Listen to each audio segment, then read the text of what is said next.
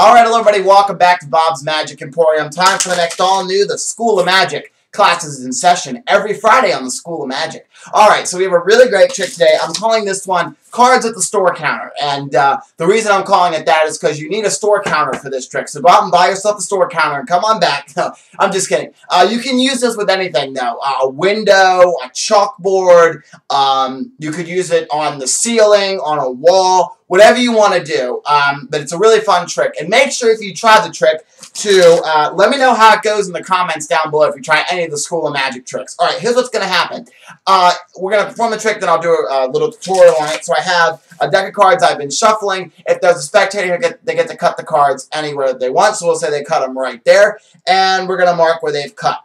Alright, so now I'm going to try to find the card not using sleight of hand, but using my store counter right here. So we're going to see what happens here. So uh, go ahead and take a look at the card. I'm going to look at it too for the purpose of the demonstration. Seven of diamonds.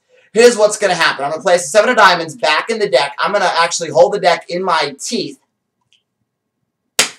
That's to prove that I'm not holding anything fancy in the cards, like a break or something like that. So I'm going to go ahead and give these cards a quick little uh, cut here. That way I thoroughly mix up and lose your card. Now I'm to now your card is somewhere in this deck, and I'm going to try to find it. So here we go. I'm going to try to find this card. Ready? One, two, three. Right there, the seven of diamonds. Now I'm not going to touch it because I want you to see that it's on the inside of the store counter. So let me run over here and let me um, get this card out of the store counter here. I go down here, I gotta grab it out of here. All right, there it is, right there. Perfect. And was that your card, the Seven of Diamonds? All right. So, let me tell you how the trick works. Um, you need something solid, like a store counter or well, uh, like like a window, or you could you could do this on the ceiling, or do it on a wall, or on a chalkboard. But here's what you're gonna do: you're gonna take the card.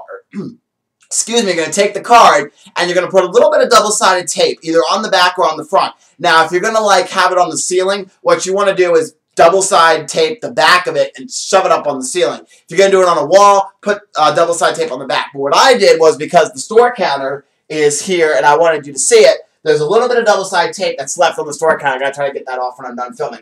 But I'm going to go stick the card back on the store counter. Let me go run and do that now. So watch, just a little double-sided tape Boom, right there. And when you put this card up, try to put it at an angle. Don't put it like straight horizontal or straight vertical because when you throw the cards, you're not going to throw them straight. They're going to go a little every which way. So you want to make sure you do that. So what I'm going to do is pick up my cards here. And you will get a little messy in this trick um, because the cards will go everywhere. So, and it's going to make a nice huge mess. So, um, what you want to do is when you start the trick, you want to block your body so you can't see the trick. Because you probably noticed I was kind of sitting kind of awkwardly. I was kind of trying to block the card with my body. So that's what you want to do. If the card is on a window, which some street magicians do when they put it on a window. Normally you'll have an assistant, though, to help you, because normally the card won't be on the window at the start of the trick, and you have your body blocked, and the assistant plops the card up there, which you can do that as well. But I try to block my body. You can, If you do it on a chalkboard, you want to block the card on the chalkboard.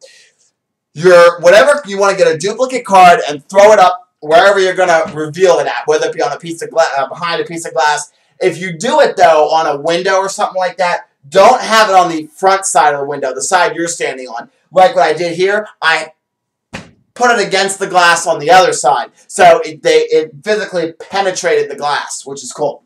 All right, so grab this, grab the same card that matches your duplicate out of your deck. So I'm going to sit like this so you can see the card in view. So it goes right on the top of the deck. And uh, if you want to do a riffle shuffle, you can certainly do that. That's what I was doing. We've learned how to riffle shuffle a couple weeks ago uh, and a couple of the other things. But you just got to riffle shuffle, and the top card you want to leave at the top. So riffle shuffle, and yes, takes a lot of skill to do this without a table. And you just leave that top card right as it is. So I'm going to try to show that to you from the exposed angle so you can see how this works. I think it's going to be better this way. So notice when I riffle shuffle, I just riffle shuffle like that. And notice what I do is leave that top card, the seven of diamonds, right on top, and it falls right on top. And I square everything up. And you can do that a couple times. You if you know any false cuts, you can do those as well. So remember, you're blocking that card with your body, and normally you'd be standing, so you'd be able to block it a little bit better than, than sitting. Uh, but anyways, you're then going to do the uh, forcing of a card and use your favorite card force, whatever one you want. The one I did in the uh, in the uh, performance was the cross-cut force, where you, where you have the spectator cut the cards anywhere they want. So we'll say they cut them about right there. You cut them, and you take the bottom half of the deck and you cross it over like you're marking. Now, if you were really doing this correctly, uh, what you're do if you weren't forcing the card, you would lift up and immediately turn this like that because you're marking where they've actually cut. What you're actually marking in the crosscut force is you lift up and you're taking the bottom half and you're marking the top card. But but if you do this right and you do a lot of time misdirection, you lift up, you take the bottom half, whoops, take the bottom half and cross it this way and place it over the top card like that. So you made a cross. That's why it's called the cross-cut force. So you do a lot of time misdirection. Notice that when I did the force, I didn't immediately show the card. I said, now I'm going to try to find your card using a special ability, yada, yada, yada, and you make up your own pattern for this. So once about 30 seconds to a minute have gone by, then you lift it up and you show them the card that you forced on them, but they think they have ch chosen freely.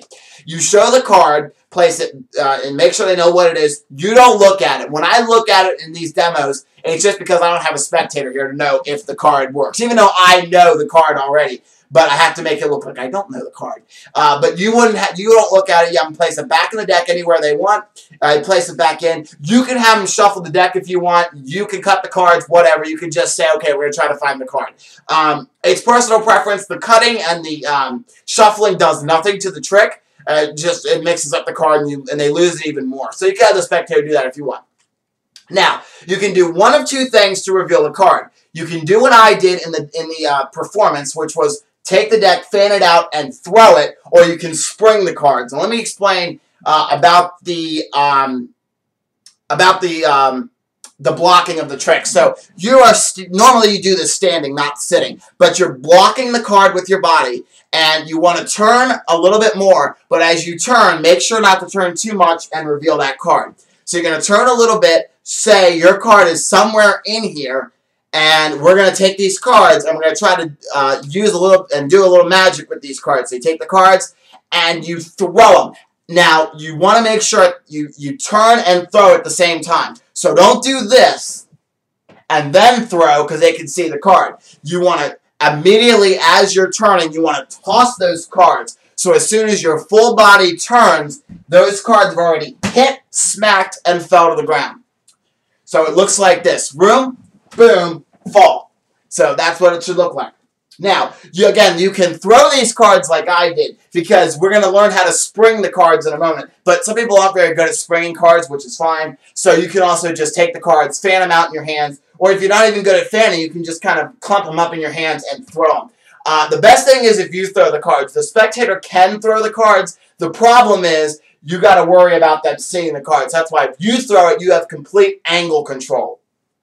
And um, if you're doing it, some, if you're doing the trick like I'm doing it here, notice that I have a window back here or I have a door. So this can be done from all angles, except really from the sides of this these cabinets. You can't really do it from the sides, but you can do it uh, kind of surrounded. And in a street setting, if you have like a window uh, that's just like this and there's no sides to it, then you can definitely do it that way. All right. So the spring cards, it looks a little more magical when you actually spring the cards instead of taking them and just throwing them against the glass. But I wanted to show you the basic thing. You can just throw the cards. To spring the cards, all you do is you bevel the card. You put um, you put your pinky, middle, and ring finger on the bottom. Thumb goes on the top, and your pointer finger goes on the back. And you're going to bevel the cards slightly. And all you do is, it's just going to take a little practice. It's going to sound a little tougher than it is. All you do is you just release the cards. I'm going to try to do this slowly. Release the cards like that, and they're just going to fly off. Now, your thumb's just going to go back on the cards, like you're going to do a riffle of the cards. Basically like you're doing this, but you're, instead of holding the cards, you're going to just let them go. So, to spring the cards, it goes just like this. You go like that, and you spring the cards against the glass. And it looks a lot more magical when you actually spring the cards. It makes a really nice sound. Uh, when you spring them, and it makes a really nice sound when it hits. Makes that sound. So that's really nice when it does that. So let me do that one more time. I'm not going to grab every single card here, but I'll grab a lot of them. So all you do is you just go like, some people even find it easier too if you have your thumb, if you kind of rotate your hand. And so you just go like that, spring them, and it looks a lot more magical. But you have to be really good at the spring when you do it because you don't want to start springing too late after you turn. And you got to make sure your body is turned so that they so that the cards don't hit your shoulder or go everywhere. So that is how to do the trick. And you can do the trick with, um, like I say, you can do it. Uh, you could have the card double stick taped on the ceiling, and all you would do is take the cards and toss them up, and then there's a card stuck to the ceiling, which is really amazing. Uh, you could do it against the wall, like I said, and you could throw the cards at the wall. Um, wherever you want to do, chalkboard if you want to do this in school. So it's uh, many, many options you can do that. All right, so that's the, uh, I'm, I'm calling this card on glass. Is what I think what I'm going to actually call it instead of, um, what did I say, cards on store counter or whatever. I'm going to call it cards on glass. Hope you guys enjoyed the, uh, the School of Magic for this week. Make sure to post your success or failure stories if you tried the trick down below in the comments. Thank you so much for watching, and I'll see you next Friday for an all-new The School of Magic. You know how to mix up cards? You say, you are not cards. You are not cards. You get the, the two tubes, and you get a certain amount of bottles. Let me grab one of the uh, real and usable. You're probably talking like a $100 trick, so that's why. And, and it's a real... Their selected card will say there's the King of Diamonds goes right on the table. And all